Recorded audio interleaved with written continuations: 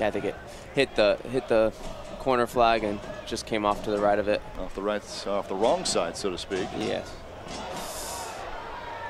Right back for Moshobane with the left foot. Moshobane into the back of the net. To me.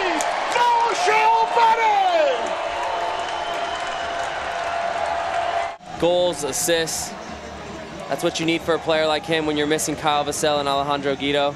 It's a great finish from Tumi Moshobane. Gets it on his left and just puts it in the side netting. And better off that it was a throw and then a corner kick because it led to this wonderful goal. What a strike.